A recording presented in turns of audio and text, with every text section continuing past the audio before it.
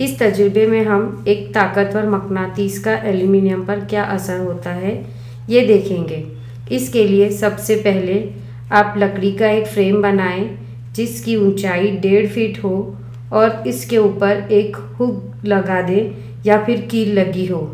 ये एक ताकतवर मकनातीस को स्टील के वाइसर से चिस्पा करें। इसके बाद धागा बांधें। जब मकनातीस को एल्यूमिनियम की प्लेट पर लाएँगे तो वो नहीं चिपकेगा, महज फिसलेगा। मकनातीस को धागे से लटका दे, जिसकी वजह से वो आज़ादाना लटका रहे। फिर मकनातीस को एक तरफ़ ले जाकर छोड़े तो वो झूलने लगेगा।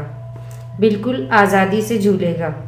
अगर इस मकनातीस के नीचे अब एक एल्यूमिनियम की प्लेट रखें तो बहुत ताज्जुब होगा कि मकनातीस एल्यूमिनियम के पास पहुँचते ही झट से रुक जाता है।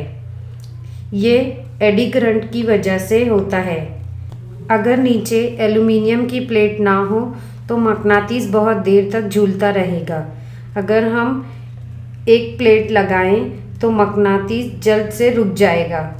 अगर इसके ऊपर हम एक और एल्यूमिनियम की प्लेट रखें तो इससे हवा का दबाव कम होगा और मकनातीस तेज़ी से रुक जाएगा।